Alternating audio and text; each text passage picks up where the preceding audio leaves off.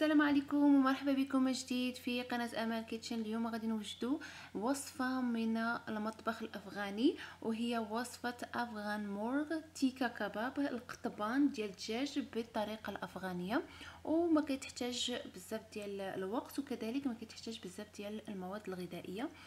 آه كتجي بنينة بزاف وكنرافقها بتشاتني صوص. غادي نبداو على بركة الله. هنا كنحتاجو آه كيلو ديال الدجاج ديال الصدر. اللي قطعته آه طريفات. آه نص معلقه ديال الحبات اللي هي الغبرة الملح الإبزار على حسب الذوق وعندي هنايا. آه معلقة كبيرة ديال جوز الكاجو اللي أنا طحنته من قبل. غادي نضيفوا له آه معلقة جوج معلقات كبار ديال الحليب. وكذلك جوج معلقات كبار ديال الخل الأبيض. الخل الأبيض كما كنقولوا هو كي كيف يرجع الدجاج فتي وهنا معلقة ديال ال ginger paste غادي نخلطوهم مع بعضياتهم وكذلك غادي نضيف لهم. آه غادي تجيكم شوية غريبة وإنما هذه هي الطريقة ديال الدجاج اللي كان Afghan murgh tikka kabab غادي نضيف له آه مشات ليا السمية. غادي نضيف له آه آه الفرماج محكوك جريتد تشيز وغادي نخلطوهم عاوتاني من جديد مزيان. وغادي نخليوهم في الثلاجه لمدة 30 دقيقة أو نصف ساعة.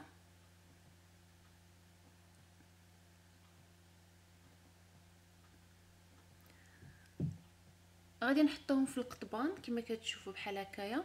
وغادي نسخنوا المقلة ديال الضو اللي أنا déjà درتها وسخنتها. وغادي ندهنوها بالزيت.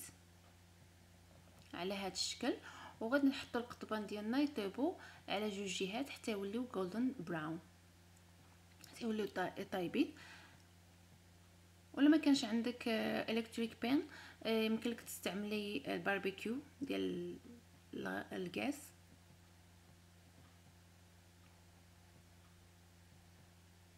هو اريان ولدي كيقول لكم السلام عليكم. معاوني so so, uh, الوصفة ديالنا هي وجدات. وكنتمنى أن الطبق ديال اليوم عجبكم وما تنساوش تشتركوا في القناة ديالي امل Kitchen وتبارطاجيو les vidéos. love like and share. And thank you so much for uh, watching. I hope you guys uh, like the recipe. Bye.